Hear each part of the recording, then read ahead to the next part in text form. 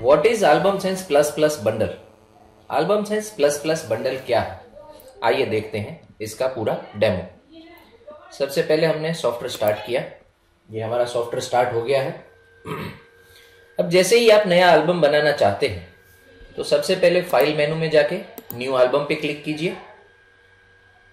यहाँ पे हम एक कपल का नाम लिखेंगे। टेम्पररी हम यहाँ पे एक डेमो एल्बम बना रहे हैं। डेमो एल्बम सिलेक्ट किया। थीम में हमें डिफ़ॉल्ट थीम रखना है। एल्बम ऑप्शन में जाके जिस साइज़ का एल्बम हम बनाना चाहते हैं, उस साइज़ को हम सिलेक्ट कर लेंगे। कंपनी ने करीब सॉफ्टवेयर के साथ 37 साइजेस दी हुई है। जो भी साइज़ आप सिलेक्ट करना चाहते हैं, उसको सिलेक्ट करके ओके के बटन को प्रेस कर दीजिए। सेव पाथ में जाके जहाँ भी आपको अपना एल्बम सेव करना है, उसका पाथ दे दीजिए। ये हमने डी ड्राइव का पाथ दे दिया है। फ़ोटो फोल्डर में जाके, ओरिजिनल फोटोग्राफ आपके कौन से फोल्डर में पड़े हैं? उस फोल्डर को सिलेक्ट कर लीजिए। यहाँ पे हमारे पास डेमो फ़ोटोज़ के अंदर वेडिंग नाम का फोल्डर है। इसको हमने ओके कर दिया। जैसे ही हम ओके के बटन को प्रेस करेंगे तो ऑटोमेटिकली हमने जो फोल्डर सिलेक्ट किया हुआ है, वो पूरा का पूरा फोल्डर हमारा यहाँ पे फ़ोटोज़ के ऑप्शन में आ जाएगा। ये देखिए, हम स्क्रॉल करके चेक कर लेते हैं। अब जनरली क्या होता है कि हम कोई भी डिज़ाइन बनाना चाहते हैं तो हम या तो ब्लैंक पेज ओपन करते हैं या कोई रेडीमेड पीएचडी ओपन करते हैं। यहाँ पे हमें ऐसा कुछ नहीं करना है। हम जस्ट कुछ फ़ोटो को सिलेक्ट करेंगे। ये हमने छह फ़ोटो सिलेक्ट किए। एक और फ़ोटो सिलेक्ट कर लेते हैं। यहाँ पे देखिए फ़ोटोज़ के अंदर यहाँ पे सात फ़ोटो का सिलेक्शन आ गया है। फ़ोटो सिलेक्ट करके जस्ट ऑटो पेज के बटन को क्लिक करना है। Software automatically in just the 15 seconds 15 second के अंदर आपको एक फ़र्स्ट क्लास डिज़ाइन बना के दे देगा। ये आपका डिज़ाइन बनना शुरू हो गया है। ये आपका डिज़ाइन रेडी हो गया। अब अगर आपको ये डिज़ाइन पसंद नहीं आता है तो आप फिर से ऑटो पेज के बटन को क्लिक कर दीजिए। विद इन फिफ्टीन सेकेंड्स पंद्रह सेकेंड के अंदर सॉफ्टवेयर आपको फिर से एक नया डिज़ाइन बना के दे देगा। ना आपको कोई पीएसडी सिलेक्ट करनी है ना कोई ब्लैंक डिज़ाइन बनाना है, ना मैन्युअली फ़ोटो को अटैच करना है जस्ट फ़ोटो सिलेक्ट करके ऑटो पेज के बटन को क्लिक करना है। अब ऐसा क्यों हो रहा है? कंपनी ने सॉफ्टवेयर के साथ 37 साइज़ दी हुई है और हर साइज़ के अंदर कंपनी आपको दे रही है एक लाख वेरिएशन इस पेज को हम सेव कर लेते हैं। डेमो वन ये हमारा फ़ोटो सेव हो गया। अब आप सोचिए कि ये फ़ोटो सेव हो रहा है तो कौन से फॉर्मेट में हो रहा है? ये फॉर्मेट है जेपीजी और पीएसडी आपका बनाया हुआ एल्बम पेज पीएसडी और जेपीजी दोनों ही फॉर्मेट में सेव हो रहा है। ये देखिए, आपने जो सिलेक्ट किए हुए फ़ोटो थे, जिसमें से आपका एल्बम पेज बना, उसके ऊपर ग्रीन बॉर्डर आ गई, जिससे आपको पता चलेगा कि इतने फ़ोटो मेरे यूज़ हो चुके हैं। अब हम दूसरा तरीका देखते हैं। ये हमने यहाँ पे पाँच फ़ोटो सिलेक्ट किए, ये छह, ये सात, ये आठ। अब हम ऑटो पेज की मदद से नहीं बनाना चाहते। तो उसके बिल्कुल बाजू में टेम्पलेट का ऑप्शन दिया हुआ है। जैसे ही आप टेम्पलेट पे क्लिक करेंगे तो आपने जो आठ फोटोग्राफ सिलेक्ट किए हैं, आपको सिर्फ़ और सिर्फ़ आठ फ़ोटो के ही टेम्पलेट दिखाई देंगे। जो टेम्पलेट आपको पसंद आए, उस टेम्पलेट को सिलेक्ट कर लीजिए और ओके के बटन को प्रेस कर दीजिए।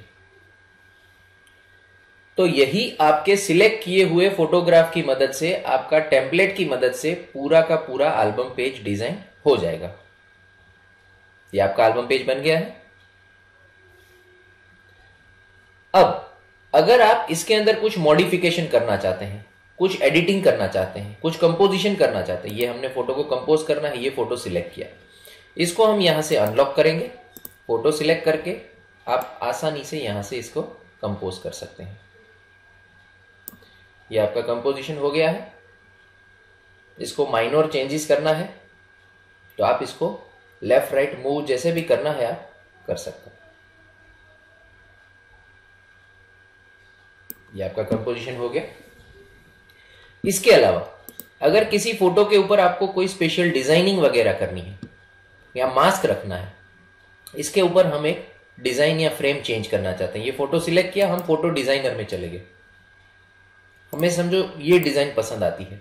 तो फ़ोटो डिज़ाइनर में करीब पाँच कैटेगरी दी हुई है आर्टिस्टिक फेदर ओवल कॉर्नर और सिंपल अगर हम कोई सिंपल फ्रेम इसके ऊपर रखना चाहते हैं, हम फ्रेम सिलेक्ट करेंगे और ओके के बटन को प्रेस करेंगे। ये देखिए सिंपल फ्रेम आ गया है। तो इस तरह से आप एल्बम पेज बनने के बाद उसको एडिट भी बहुत ही आसानी से कर सकते हैं। अब इस फ़ोटो में कोई आपको स्पेशल कलर टोन देना है, यहाँ पे हम ऑल करेक्शन में चले गए।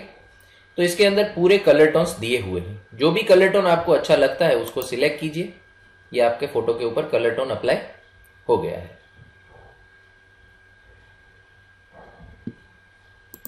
अब तीसरे फ़ोटो को देख लेते हैं। इसमें अगर हमें कोई मास्क लगाना है, हम मास्क गैलरी में चले गए तो यहाँ पे हमें बहुत सारे मास्क दिए हुए हैं। डिफ़ॉल्ट मास्क में आपके फेवरेट मास्क दिखाई देंगे।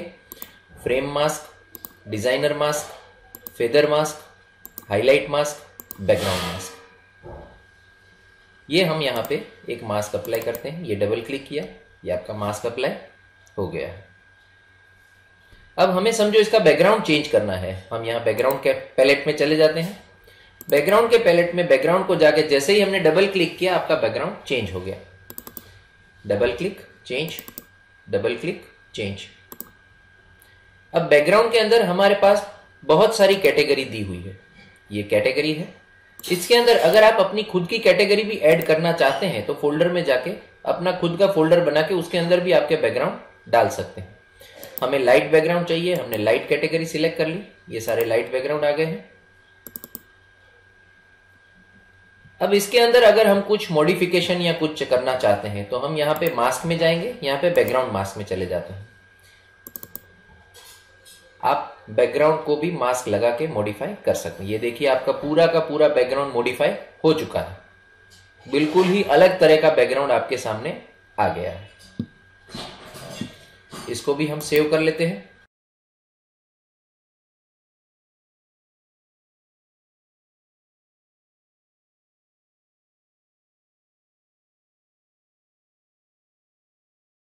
अब इस तरह से आप एक एक पेज तो बहुत ही आसानी से बना सकते हैं।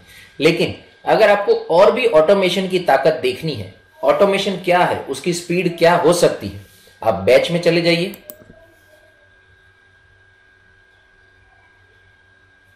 बैच के अंदर हमारा वही सेम फोल्डर ओपन हो गया है।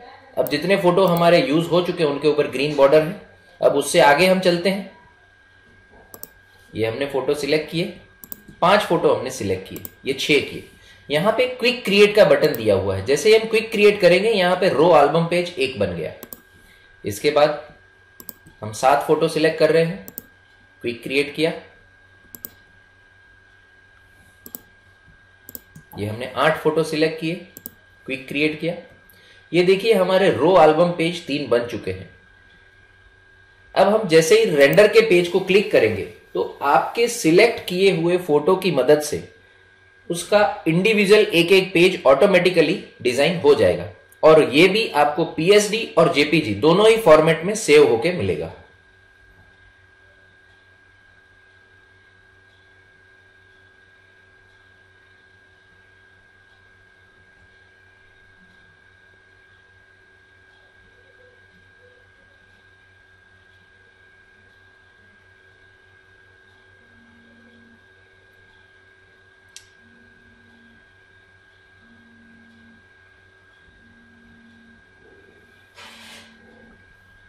ये हमारा बैच प्रोसेस कंप्लीट हो गया है।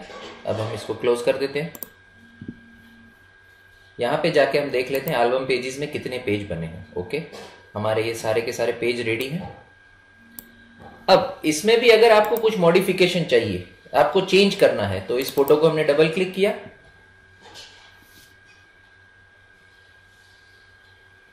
अब हमें समझो इसका डिज़ाइन पसंद नहीं है तो आप इसके बैच के बाजू में एक चेंज पेज करके ऑप्शन दिया हुआ है। उसको जैसे ही आप क्लिक करेंगे तो आपके फोटोग्राफ सेम रहेंगे, लेकिन आपका डिज़ाइन चेंज हो जाएगा।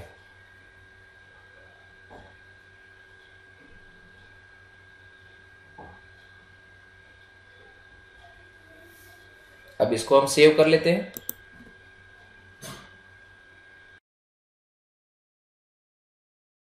One zero three.